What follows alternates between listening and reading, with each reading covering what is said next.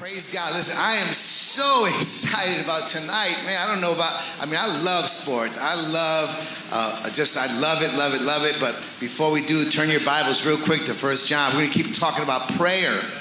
You know, we have to play to win, but we got to pray to win too. Amen.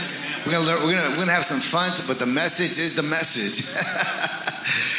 Keith's dying to throw that ball back up here, man. Go, go ahead, come on. I'm gonna catch it with one hand. If you throw it right, I'm gonna catch it right here. If you throw it right, I'm gonna catch it right here. That was close, man. That was close. All right. All right, all right, all right. We need a wide receiver at Chicago too, so we're good. But, but praise God. Turn your Bibles to 1 John chapter 5, verse 14 and 15.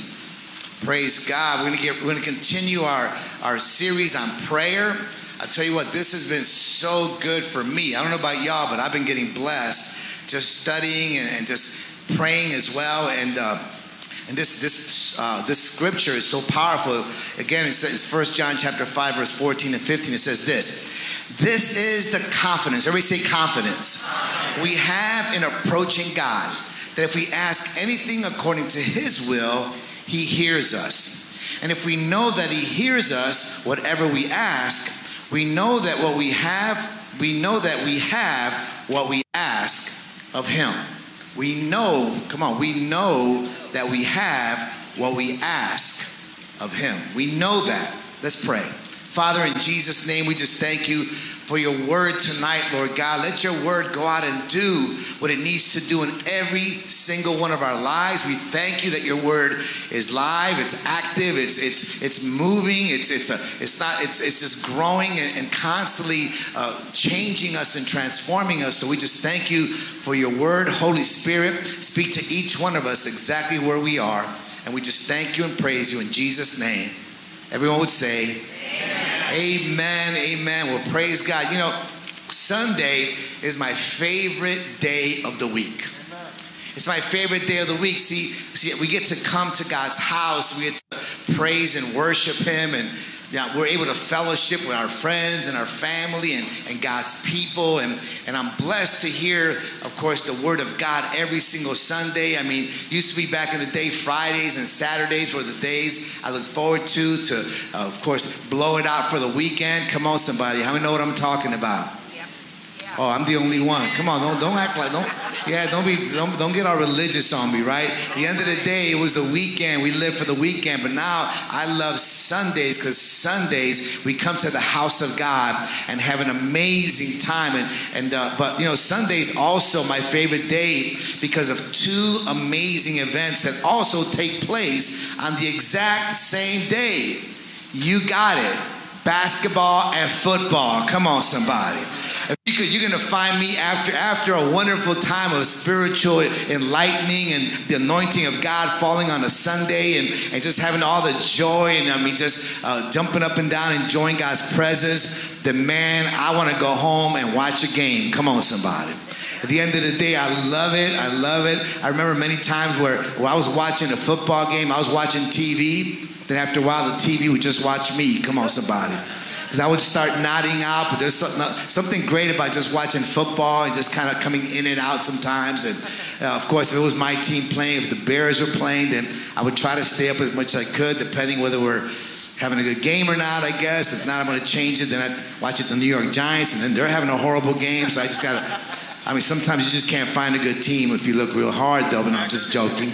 Just kidding. I, I got all my New Yorkers picking up rocks right now, so just you can put those back down for a moment. But but see, I, I love it. There's no shadow of a doubt that those are my two favorite sports. And I think the thrill, there's a thrill about watching your team, come on, somebody, going down the gridiron and watching a, a, quarterback throw a pass and, and the wide receiver catches it in the end zone. And there's something about your team scoring a touchdown. Or else you're watching a basketball game and it's coming right down to the wire. And of course, the, star player has the ball. Back in the day from Chicago, of course, they gave it to Mike, man. How many know who Mike is? I don't have to say nothing, just say Mike. Everybody knows who he is. And he would just take the shot from who knows where, do whatever, and win the game. And it was just something about the excitement about watching your team win. But there's also a burden that comes with that blessing as well. The burden with the blessing is this Sometimes you lose. Come on, somebody. See, sometimes you lose, and it's almost like, oh, after you've been watching it, especially when you lose at the last moment, when the game's down to just a little while, and you're up ahead, and all of a sudden, you know, somebody like Brady grabs the ball, and then all of a sudden, he comes down in a minute, scores a touchdown, and wins the game. Happens to be your team he's playing against. So you're sitting there going, oh my gosh, I can't believe it. All of a sudden, you go from being super high to being depressed. How many know what I'm talking about? Listen, I know some folks that get so into sports that when their team loses, and they can't even talk to anybody for a while. Come on, somebody. They can't even talk. They just, they just, they get into a little shell, and, and then, then of course you got some folks that are instigators, right? They get on the text. Oh yeah, your team just got beat up bad, and you're pre- and you're just kind of pouring salt in the wound. But we're, but we do that to have fun. We're just we're just doing that because it's just what we do, and, and we have a lot of fun. And, and of course, but but what also determines See, it's not just the skill level of the team that determines whether they win or lose, but how well they play according to the rules. See, the rules are so important in any kind of sport. I mean, I love it. Uh, the rules really make up uh, the, what the game is all about. So you have to know that there are rules in place so that we all have the same goal to win, right? So all sports have several things in common. Number one, every sport has a place to play. You'll either be in a, on a field or you'll be on a court. See, every sport has its boundaries. There are lines that mark out the out of bounds areas. Every sport has its rules, regulations that need to be followed, right? And of course, every sport has people who watch and enforce the rules. You got refs that are constantly looking around to make sure that you're not on the line or you didn't cross over a scrimmage or, or maybe if you're if you make sure you have to cross the basketball over in the first five seconds. If you can't get it across the line, center line in five seconds, then they call that out as well. So there's all kind of rules and there's all kind of lines and, and they're all designed to keep the game in order so you can so you know exactly what's going on. And see, you may have the best players. You might run the best plays score the winning shot. But check this out if your foot is on the line, it doesn't count. Oh, come on. It doesn't matter. It might be the greatest, fantastic catch on the planet. And of course, it's all deep in the corner somewhere in the ball. And he gets up, goes way up in the air and catches it. And when he comes down, his foot on the line, I don't care how great the pass was. I don't care how amazing the catch was. It doesn't count because the lines are there to keep everything in order. And you have to stay between the lines in order to win. So you can have a great team. You just got to make sure that you stay within the realm where the game is being played. And of course, I, lo- I love Albert Einstein said this you have to learn the rules of the game, then play better than anyone else. You have to learn the rules of the game first so then you can play better than anyone else. Now, the Bible is very clear that certain things must be aligned with His Word for our prayers to be answered. In other words, we can play to win, but if we're going to pray to win, then there's also some things that we need to observe. See, many of God's promises are preceded by terms and conditions. See, if you tithe, says, then I will open the windows of heaven. If you follow my commandments, you will have success. If you humble yourself and pray, then I will heal your land. See, when God, when I gave my life to Christ many, many years ago, one of the first ministries I got connected to was the prayer ministry. We called it intercessory prayer.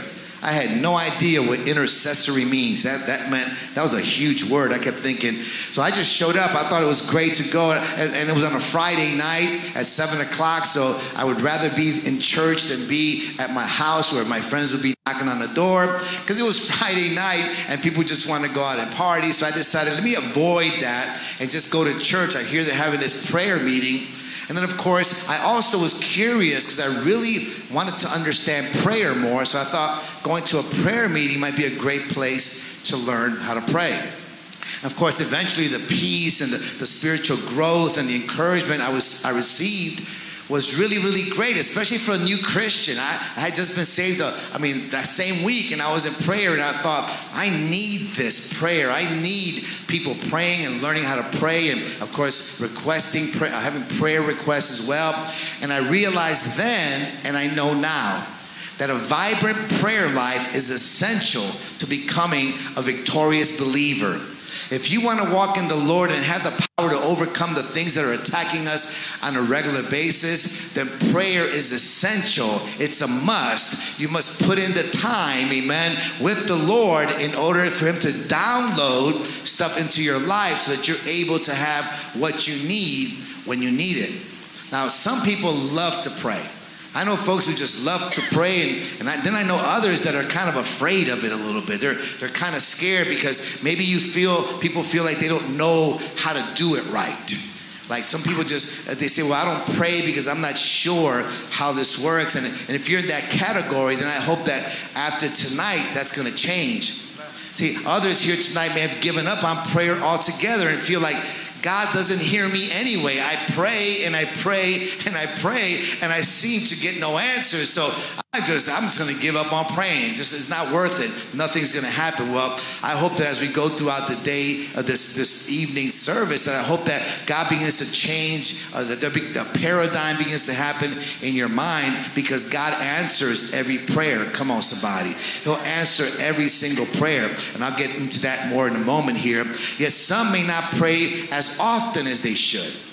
Maybe you just pray occasionally. Maybe we're just casually praying. I believe a casual prayer really is not bad. However, what I know we require, especially in a time like now, at this time in society, this time in history, casual prayers are not going to do it anymore. Come on, somebody.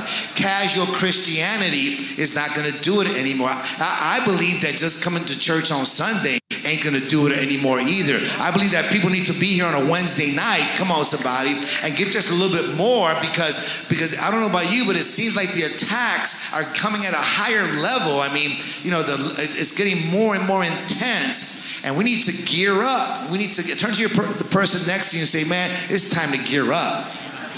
It's time to gear up and get ready. There is a battle. There's a battle happening now, and the devil's turning up the heat but listen, how many know we don't have to worry about the devil?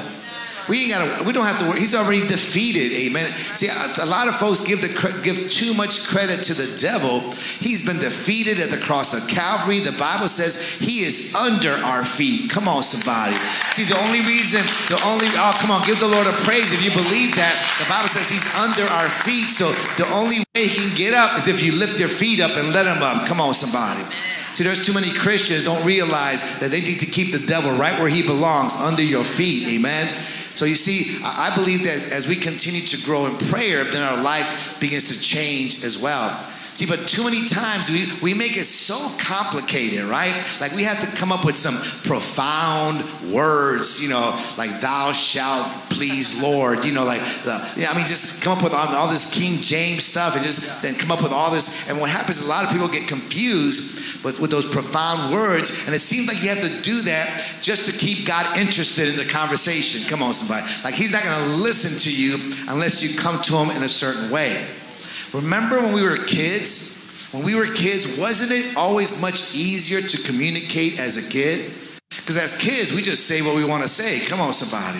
And we have a good excuse because we're kids. Unfortunately, we have too many Christians that say what they want to say, and sometimes they're just, let's not go there. Okay. But, but let's check out some of these children's prayers, okay? These are some children's prayers that I picked up. The first one is this Dear God, please send another new baby for mommy. The new baby you sent last week cries too much.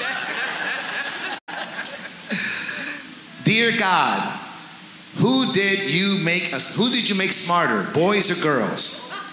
My sister and I want to know. Dear God, how many angels are there in heaven?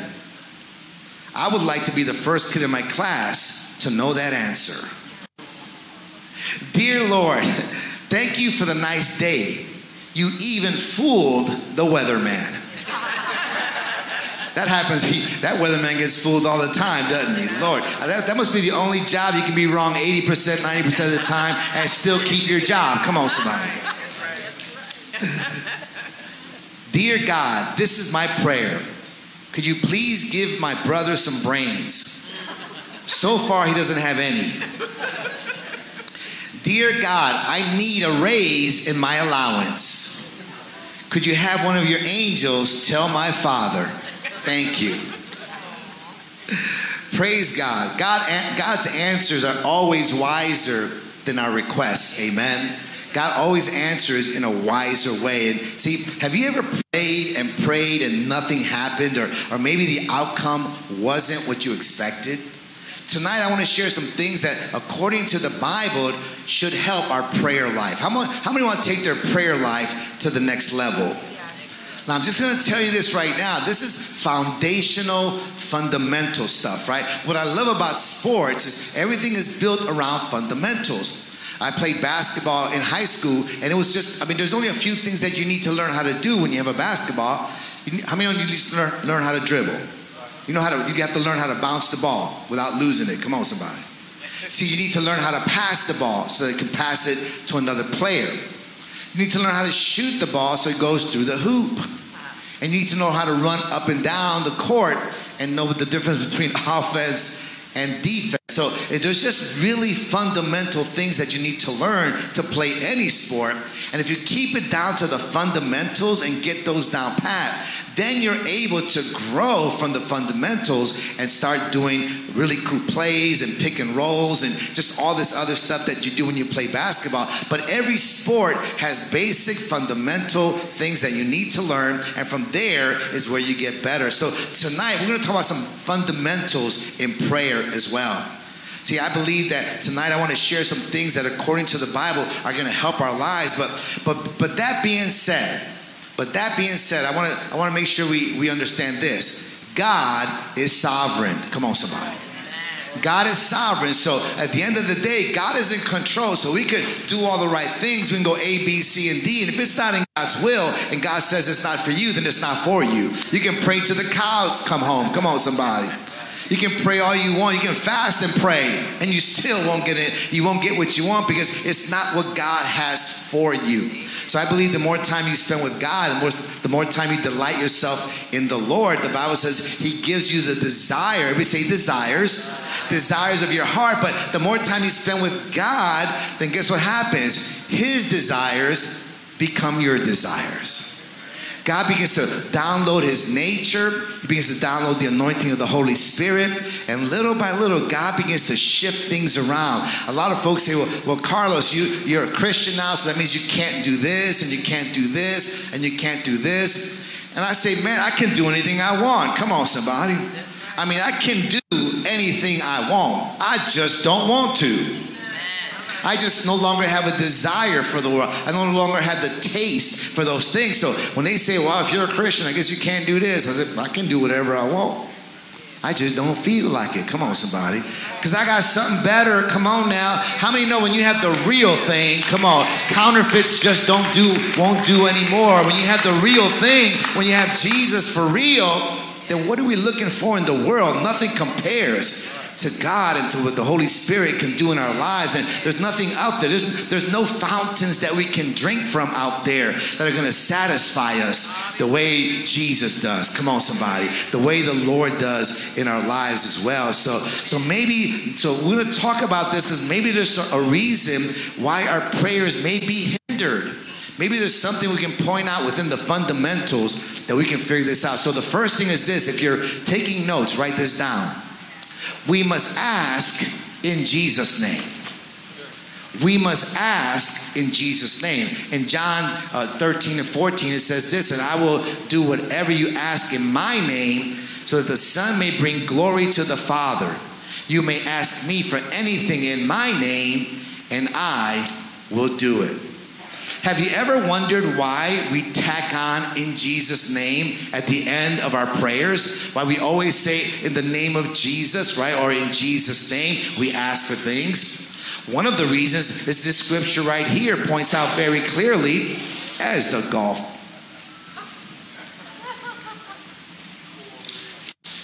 All right, no big deal. Nothing but a thing. in Jesus' name. In Jesus' name. That thing distracted me, man, for real. So praise God. So one of the reasons that we use Jesus' name is because he said to do it right here. So, so one of the reasons we use his name is because we're being obedient to what Jesus said. He said, if you use my name, then I will give you access to what you're asking for. And you see, that's such an important thing to understand because how many know that Jesus is our ultimate champion? Come on, somebody. Jesus has all authority on heaven and on earth. So you see, when you have a champion like Jesus, then we want to do exactly what he says. Because listen, look what John 16 33 says. I have told you these things so that in me you may have peace. In this world you will have trouble, but take heart. I have overcome the world. Come on, what that means is the Jesus that we follow is an overcomer. And because he overcame, so can I, and so can you. Amen. Jesus overcame. Listen, today you're not a victim, you're a victor. Come on, somebody. See, you're the head and you're not, and you're not the tail. You're a winner, you're not a loser. Listen, be encouraged tonight. God designed you, He gifted you, and when you pray in Jesus' name, He empowers you to win. Oh, come on, somebody. Turn to the person next to you and say, Man, you are a winner. You are a winner. Man, somebody, somebody needs to hear that. Somebody needs to understand that we, we came to this planet to take dominion over the planet. Come on, somebody. God has given us dominion over all creation and everything that's here. And we need to step into the role and understand that that authority now belongs to us.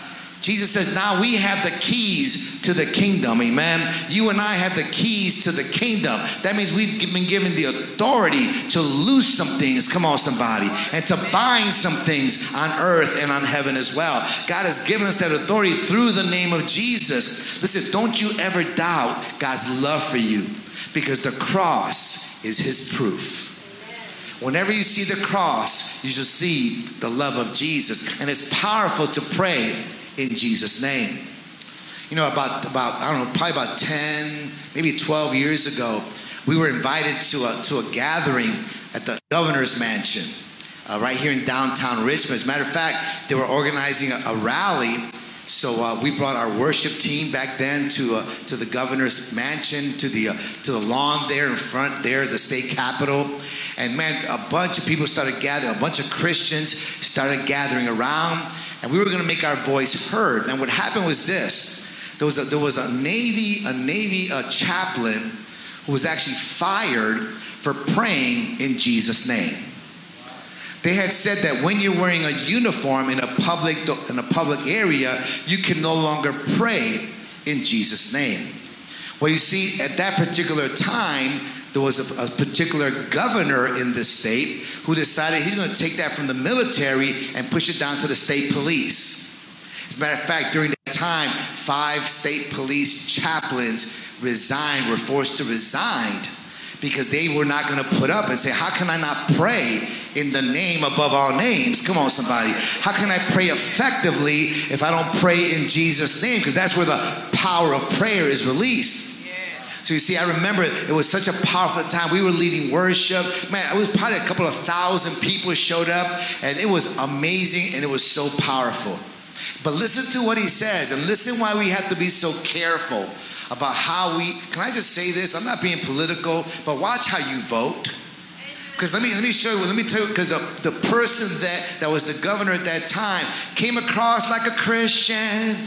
Come on, somebody praise the Lord, Hallelujah. I'm gonna go to prayer meetings, I'm gonna do all this and do all that. And later on, he put the biggest stamp on abortion that you ever wanna see. And I don't know about you, I'm not talking politics, I'm talking Bible. Amen. And, and this is what he said. I, I love this. Politicians campaign like Christians to get your vote. But now instead of governing like Christians or respecting their chaplain's First Amendment gifts, they forced the resignation of five state chaplains simply because they prayed publicly in Jesus' name. If you take the name of Jesus out of prayer, you take the power out of prayer. Oh, I got to say that one more. If you take the name of Jesus out of prayer, you, you now hinder, come on, somebody, the power in prayer. James chapter 2, verse 19 says this You believe that there is one God, then you do well. Even the demons believe and tremble. Come on, somebody. Even the deep, listen, in the name of Jesus, all hell begins to shake. Come on, somebody. When the name of Jesus is being proclaimed, the enemy, listen, this is a demonic agenda. Come on, somebody. Because the devil knows that if, if we're able to pray in the name of Jesus, somebody's going to get saved. If we pray in the name of Jesus, somebody's going to get healed. If we pray in the name of Jesus, come on, somebody, somebody's going to get delivered. See, if we pray in the name of Jesus, families will be restored. If we pray in the name of Jesus, marriages will be healed. See, if we pray in the name of Jesus, it unleashes the supernatural power of God, and it's all found in the name of Jesus. Can I hear an amen tonight? See, the enemy knows the power and the authority in Jesus' name, and so should we. So should we. So pray in Jesus' name. That's a fundamental part of praying to win. The second thing is this we must keep his commandments. Oh, that's foundational. It's simple. Oh, God, Pastor Carlos, I thought you had something really heavy duty, a heavy revy. Come on, somebody. This is a heavy revy. Keep his commandments. You want to walk in power, you want to pray to win, then begin to obey God's word. Look what 1 John chapter 3 verse 21 and 22 says. Dear friends, if our hearts do not condemn us, we have confidence before God and receive from him anything we ask because we obey, everybody say obey. Obey his commands and do what pleases him.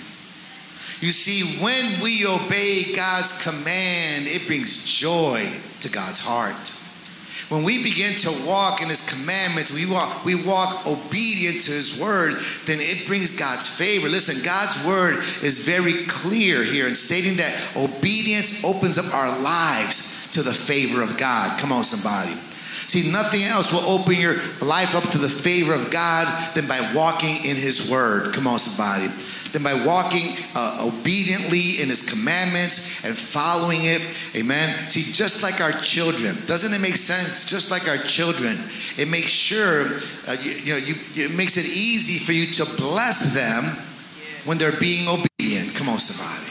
It's easy to do that, but how difficult is it to to to uh, bless your children? Those of us that are parents, how is it? How difficult is it to reward them when they're disobedient? Like, doesn't it make it difficult? I, I want to reward them, all right. Come on, somebody. I'm gonna apply some heat to the seat. Some of y'all know what I'm talking about, right? Back back in the day, Mama Rosa, she was no joke. You see that little lady sitting right there? She could grab a broomstick, dude, and do something. I mean, she's like Bruce Lee. Come on, somebody. She'd be whacking us with broomsticks, man. And I mean, but we listen, we deserved it. Come on, somebody. It, it, it wasn't child, you know, whatever, child, whatever you call it. It wasn't that. We deserved every single, we deserved more. She should have had a baseball bat. Come on, somebody. Because we were so bad. We were so terrible as kids. So you see, but then, but then, you know, God's word is very clear in Leviticus chapter 11, verse 26 through 28. Look what God says. Behold, I set before you today a blessing and a curse. So the blessing, if you obey the commandments of the Lord for which God has commanded you today. And the curse, if you do not obey the commandments of the Lord, but turn aside from the way which I commanded you. Bible says, listen, you can be cursed or you can walk in God's blessing. If you walk in God's word, come on, somebody, then you get the blessing of the Lord. If you're disobedient, then you walk in a curse, and then you wonder why your life is so jacked up. Come on, somebody. Because I don't know about you, but when I got saved, I looked at the Word of God. I said, "Oh my Lord, I'm breaking all these rules." Come on, somebody.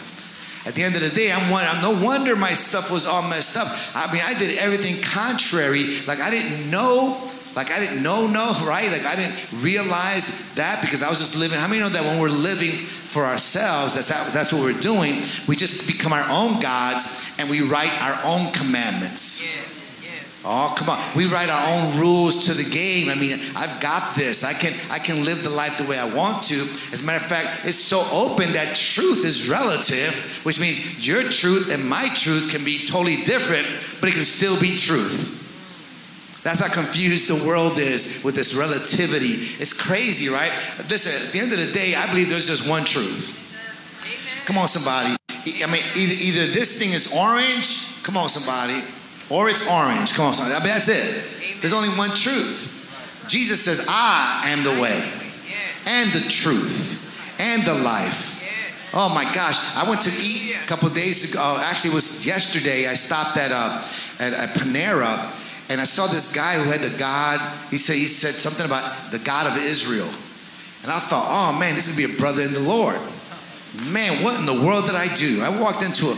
So I started talking to the guy about the Lord. He goes, well, then he started going Old Testament and all this crazy stuff. And I was like, oh, and then turns out, oh, we're all Israelites and we're this and that. And anyway, I don't want to get into all the details, but it was kind of crazy. And I said, no, no, no, time out, time out, time out, time out.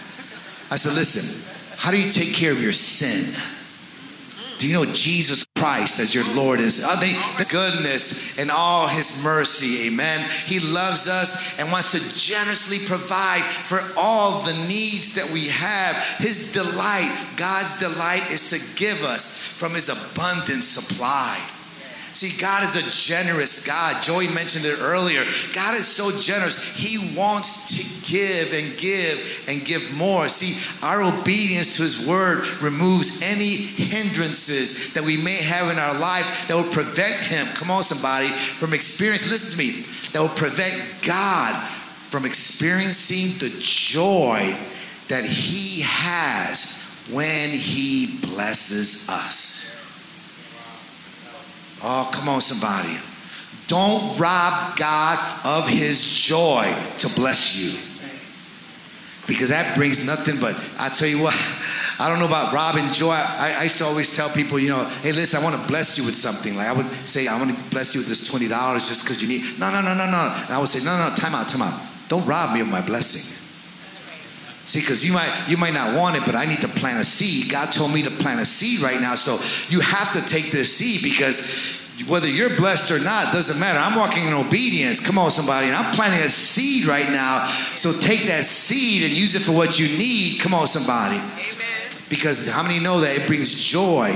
In our hearts when we give and plant seeds into others. Giving causes fulfillment inside of us. When we give our talents and our treasures and we use all that for God, and somebody says, Man, thank you so much for doing that. I don't know about you, it just fills my heart with gratitude. It fills my heart with fulfillment. It makes me feel like, Yes, I'm doing exactly what God has called me to do. You know, uh, Ken, there's an author whose name was Ken Galbraith who wrote a lot of books on economics back in 2008 with like a, a big time uh, had all the best selling books on, on economy. And one day he was super super tired and he had his he had his servant her name was uh, emily who, who ran her his home. He said listen if anybody calls right now i'm gonna go take a nap. And please just let me take a nap. If they call i'll call them back later so as soon as he went to bed, probably about 30 minutes later, the phone rings. And the phone, she picks up the phone and says, Yes. He goes, uh, Yes, uh, this is Lyndon Johnson, and I need to talk to, uh, to Ken.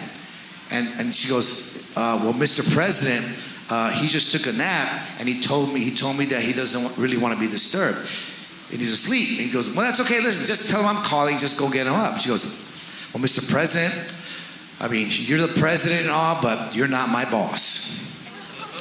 He's my boss. And when he says don't disturb him, I don't disturb him. So can you wait when he gets up and he'll call you back?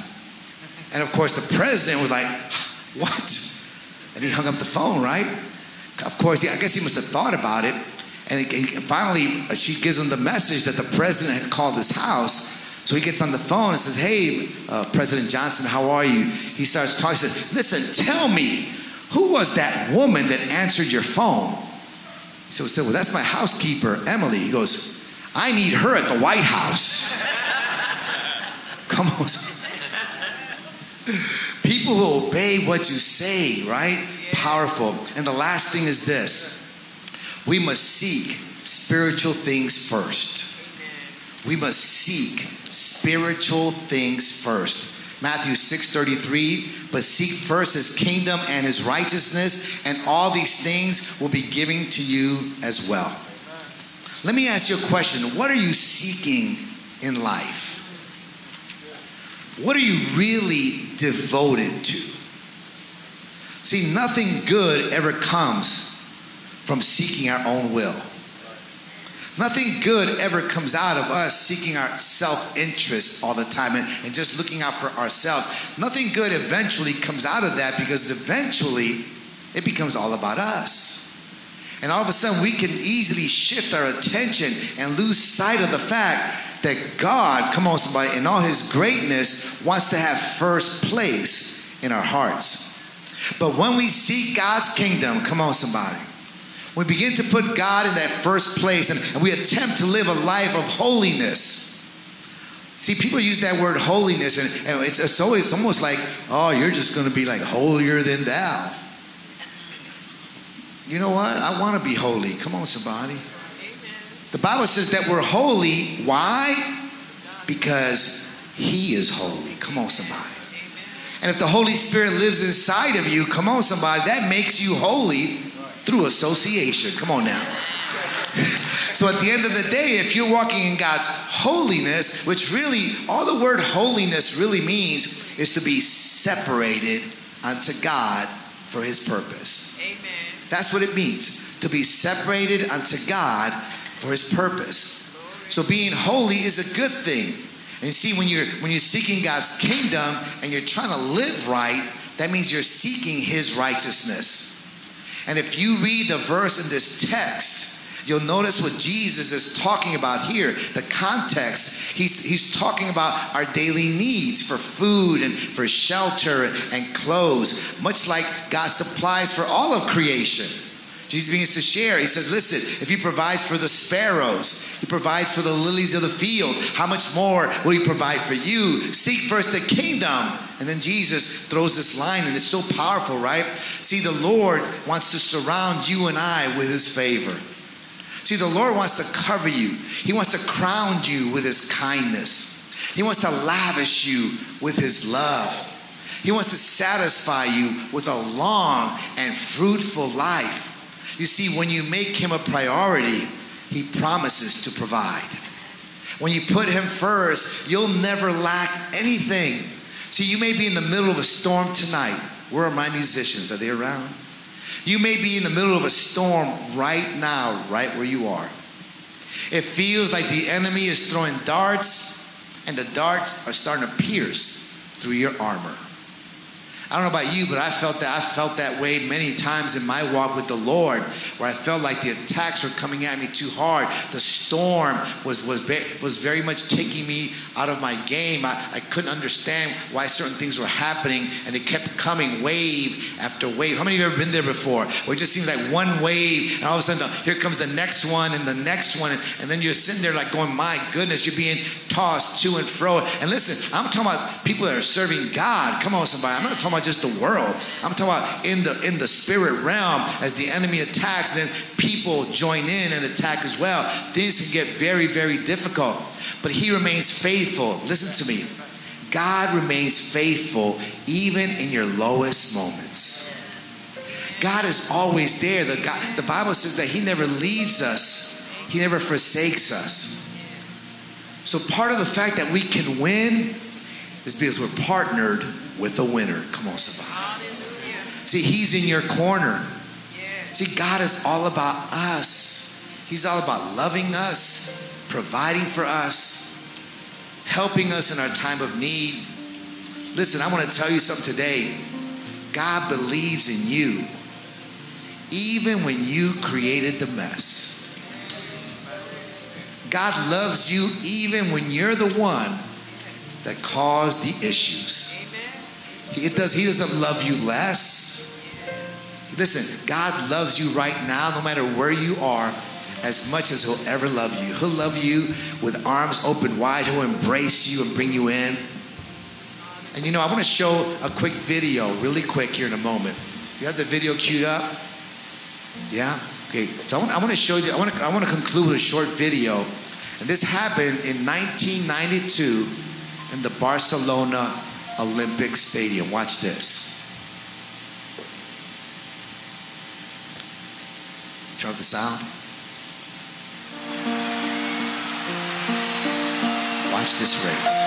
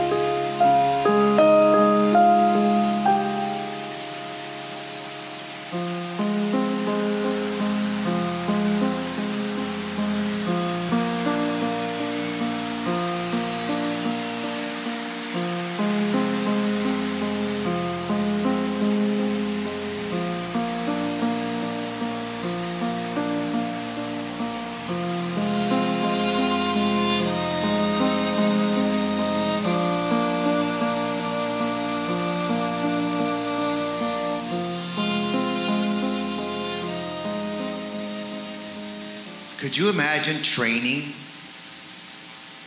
for years and years and years to get to a spot where you're finally on the Olympic team? Not only was he on the Olympic team, he was favored to win the 400 meter dash. Favored to win. His dreams, he should have gotten a gold medal. He was, I mean, they said he was a for sure. His speed was so fast, he should have just got a gold medal.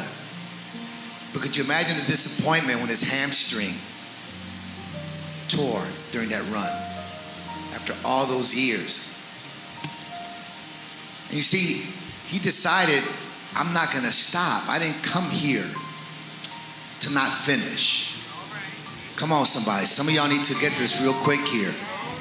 So you might have torn something along the road. You might have been running your race and something happened. But you notice he got up. He got up even though he was injured. You saw the other, the, the, those officials were trying to say, hey, I want to pull you over. And, and he said, the first one, he said no, and then he kept going. Then his father ran down from the, come on, his father. Oh, his heavenly father, come on, somebody. His father ran down from the stands and the officials tried to stop the father. He said, no, no, no, you don't understand. That's my son. That's my son. I've been with him during those training. I, him and I worked together, and now he's hurt, and he needs me. His father went down there and said, pushed him off a couple of times, said, Stop. He's not going to quit the race. He didn't come this far to quit. And of course, you, you see the father carried him and he cried. And listen, we serve a heavenly father. Come on, somebody that during this race that every one of us are on, if we fall, if we're injured, if we're broken, he will pick us up. Come on, somebody. And if he has to carry you, if he has to carry you across the finish line, you're gonna finish. Come on, somebody. You know, that's so powerful. I want you to know that no matter how broken your life is today, God will come right beside you. Come on, somebody. And He'll be limping along and He'll just carry you as far as He can. And eventually, come on, somebody, healing will start be pouring into your heart. Little by little, things will begin to change in your life. And you will make it to the finish line because at the end of the day, the race is not to the swift, it's to the one who endures to the end. This is a marathon that we're on. He might have been running a 400 yard dash, but life is a marathon. We got to keep getting up and getting up, and the Father will continue to reach out. Come on, somebody, and He'll put you on His shoulder until you're healed, and then you can run on your own. And if you get injured again, and you will, He'll be there to pick you up one more time and another time. You see, the God that we serve is not the God of a second chance. He's the God of another chance and another chance and another chance and another chance. How many are glad that God never gave up on you? How many are glad that He stepped out from where He was and said, You are my child? Hallelujah. Praise God. Let's all stand to our feet tonight.